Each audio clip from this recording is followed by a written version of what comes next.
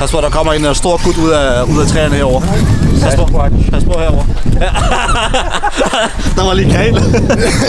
det fik jeg på video.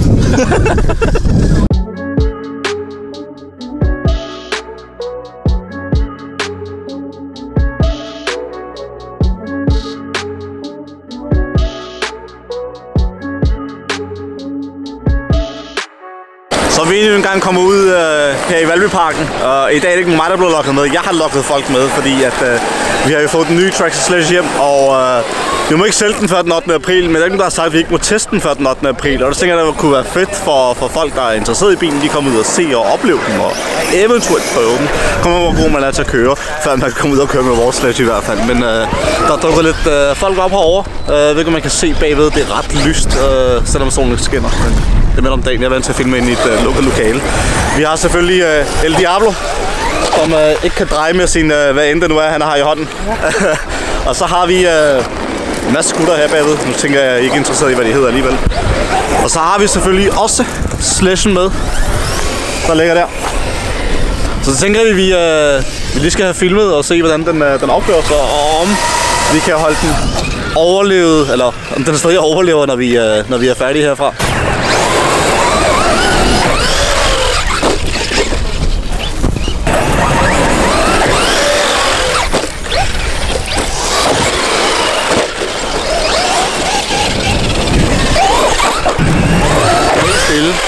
Så ind og køre Og så dukker han det. var flot ret, dukker. Er det ikke bare Dohal?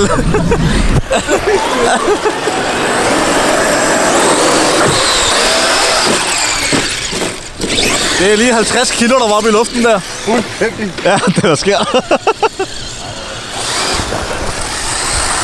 Der er sådan en lille tævel lige der. Jeg er lige kommet til, at der er allerede begyndt at komme tilskuere over. Det er det, der er fedt, at, uh, at der også er andre, der ikke kører RC, der så det er fedt at se RC-biler køre. Så der samler sig et par mennesker ind i et hjørne, og lad os se, hvor meget det stikker af med de her tilskuere. Vi vil selvfølgelig ikke have så mange som muligt herovre, der kan se, hvor fedt det er at køre fjernsede biler.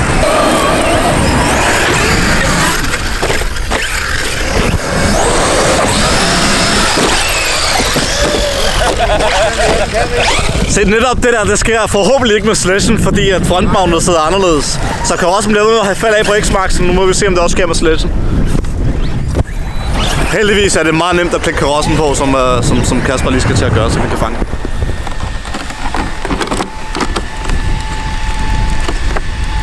Det var det. Gut.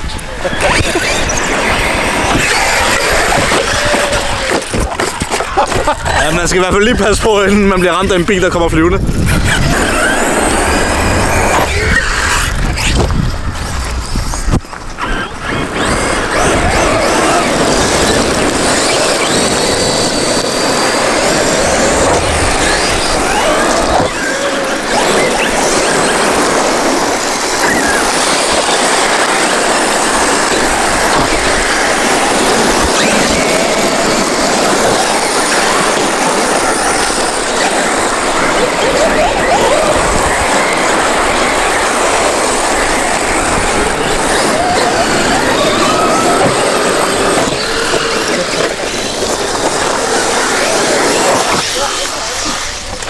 Jeg synes, du hele tiden reparerer biler.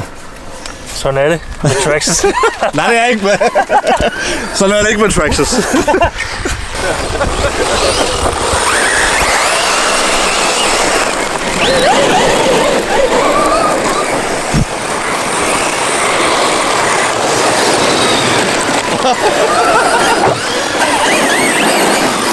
Der røg stadig ikke noget.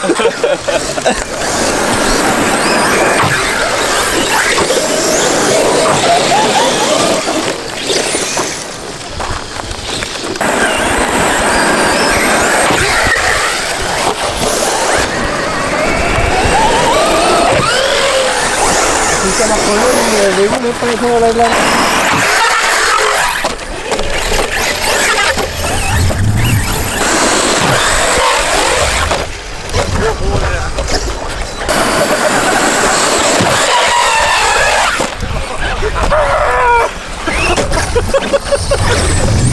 Den har jeg ikke lyst til at være med mere.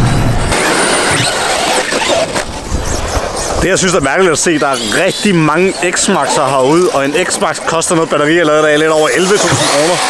Så det er dedikerede folk, der kommer med deres biler og kører dem i smadret. Men det handler ikke om at køre dem i smadret, det handler egentlig om at kunne tage hop, lave nogle koldbøtter og lande og køre videre. Så bashing betyder ikke at smadre sin bil. Bashing betyder bare at køre uden nogle regler. Jeg tænker, det er på tide, at vi lige tager Traxxas Sledge ud, øh, og inden øh, vi begynder at køre i mængden, så tænker jeg, at vi lige laver noget, noget fed video her væk fra psykopaterne dernede. Og jeg kan jo ikke filme og køre samtidig, så jeg har taget El Diablo med, hvilket jeg selv synes er meget modigt, fordi El Diablo er kendt for, for at smadre biler. Øh, både minisætter og smashing biler. De holder ikke særlig længe, så må vi se. Altså, jeg tror også, det er, det er en god måde at teste øh, holdbarheden på Sledge, det er at give den til en, der virkelig smadrer biler. Men prøv at høre, jeg vil gerne have den tilbage i butikken igen, så den skal ikke gå i stykker.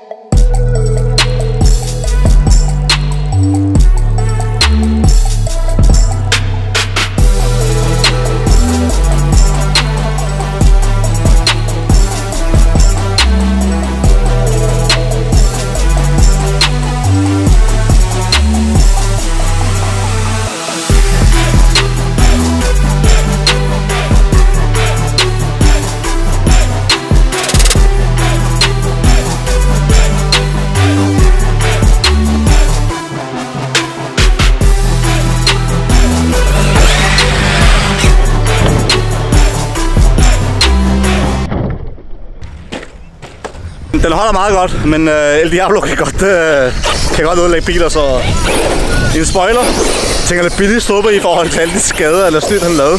Du startede meget godt med at lave nogle gode øh, koldbøtter og lave koldbøtter på asfalt øh, eller græs og bare sådan der.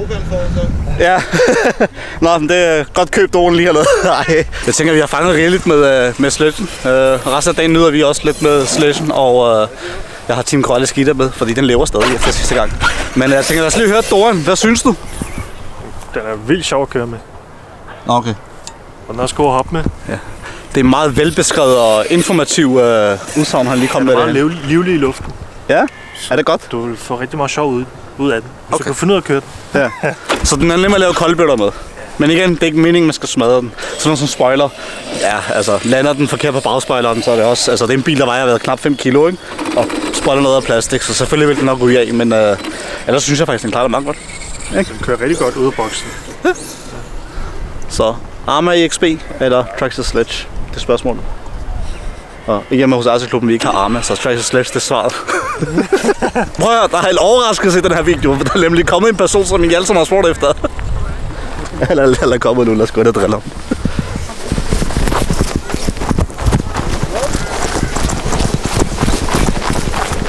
ham. Hvad så? El Diablo ødelagde sledgen. Nej! Han kan ikke have spoiler. Jeg ved ikke engang at prøve den.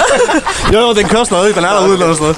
Hvad så? Kom det godt. Stille og roligt. Hvad så? Du er, du er efterhånden blevet mere famous, end jeg er på de her videoer. Er det? Jeg bliver nødt til at hvor ham der Peter Vandgaard hen? Hvor er hans danske pas? My name is not Peter. Hvor er hans danske pas?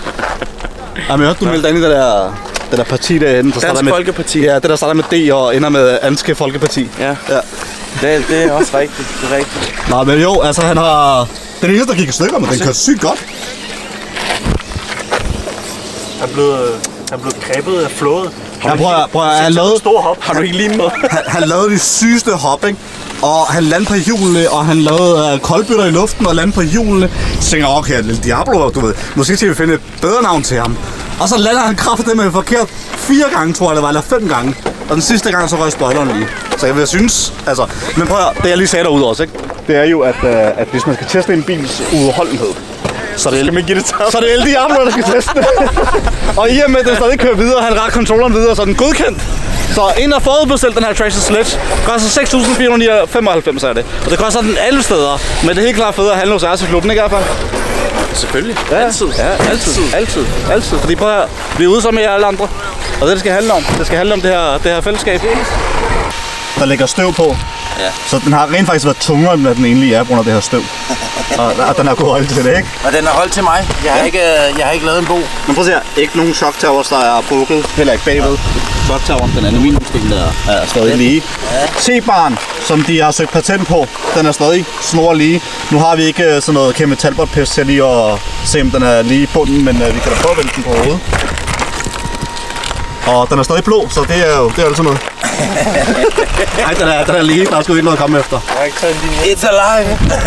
Nej, den er, den er faktisk ja, helt stabil. Øh, og jeg vil sige, selvom de har skrevet på papir, at den er ret stærkere end, end konkurrenterne. Øh, og jeg tror ikke lige helt at stå på mål for det, fordi jeg har ikke testet den, men det har vi så nu, eller El Diablo har testet den også. Jeg vil sige, de har noget at have det i. Den bil, den er, den er sgu ret solid. Det, det synes du også ikke, Bo? Jo, jamen, øh, jeg synes, det kører rigtig godt. Øh, Og Bo kører også Arma, men han synes, den har kørt bedre. Er det rigtigt, Bo? Jo, det kan vi godt sige nu i dag i hvert fald. For the show, altså. Nej, den er lækker. Den er lækker. Og faktisk en anden ting, der lige inden vi stopper, det er, at jo, vi kan godt blive enige om, at generelt nogle af tractorspillerne, fordi de er lavet af plastik og sådan noget, ikke helt så spændende at kigge på. Det er den her. De her blå detaljer i aluminium, stål og sådan noget, det gør rigtig meget, så den er ikke kedelig at kigge på, og den er ikke kedelig at køre. Så det er win-win. Og det er sådan en, en engangsinvestering i bilen, og så skal du ikke øh, ud og købe dig færdige dele og sådan noget der. Den her spoiler, der knækket, er ikke knækket nok, så man ikke kan montere den igen. Så vi har, vi har, vi har faktisk ikke, ikke behov for, for at skulle ud og købe en ny spoiler, før den, den kan sidde på. Og det er der fedt. Så fikser man der kører igen. Og det, det skal handle om, det handler ikke om, at man skal smadre bilerne til ugenkendelighed, når man basher. Det skal handle om, at man har det sjovt, og man kan lave koldbøtter og lande og, og, og køre videre, som jeg har sagt så mange gange efterhånden. Det handler om at smadre de små biler. Med de store. Det handler om at smadre alle de andre biler, som, øh, som ikke er så, go- så, så gode. Ja. Jeg skal passe på, hvad jeg siger. Nej, det handler ikke om det. Team Associated for eksempel. Vi sælger Team Associated. Det, det handler ikke om at smadre Team Associated. Nej, Team Associated laver faktisk gode biler. Det er forholdsvis billige kontra, kontra de her, så, så man får selvfølgelig altid, hvad man betaler for jeres se, men lige meget hvordan man vender den, så kan man godt ødelægge alt. Også X-Max 11.000, som vi har set, kan godt gå i stykker. Uh, Jeg har lige smadret, smadret min. og det var en hvad? En drive hop. Så det er en X-Max? Ja. ja.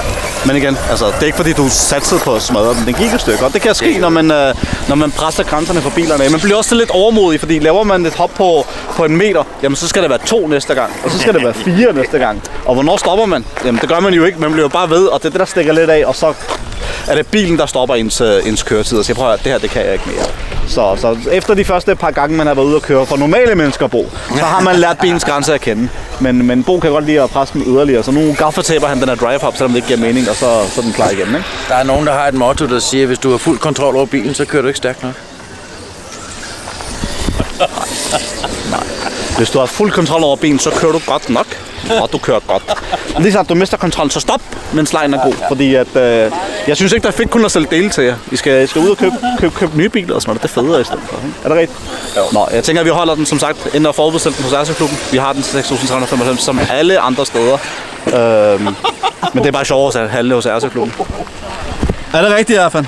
Og nu skal Peter Vandgaard. Bare, bare sige ja. Nej, nej. Er det ikke? Bare sige Hvor kan mig, Erfan? Brian. Ja.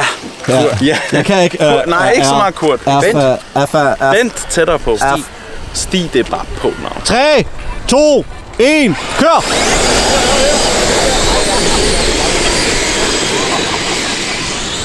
Det kan være svært at køre lige ud for nogle mennesker.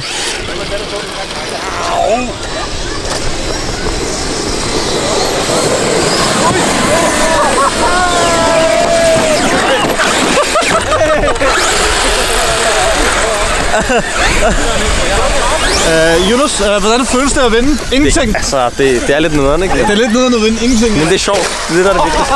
Det er rigtig sjovt. Er, er, det, er det sjovt at vinde? Det er det. Det er faktisk sjovt ikke at komme sidst. det er heller, fordi det er en 8S, ikke? Jo. Ja. For han kører 8S, ikke? De andre kører 6S, og nogen kører 8S, ikke? Jeg kører 4S, og jeg kommer ikke sidst. Det er det, det handler om. Det handler om at bevise. Det kører. Jamen, det er fordi, jeg, jeg har lagt mærke til for nogle mennesker, der er svært at køre lige ud. Ja. altså, det, er sikkert, det kan de ikke. Bilerne kan da bare rulle rundt, mens de kører lige ud. Jeg ved ikke, hvad der sker. Om de har sådan... At se. det er det samme. Jeg ved det ikke, de bliver bare rulle, mand. Se, vi har, vi har Pelle Vandgaard, ikke?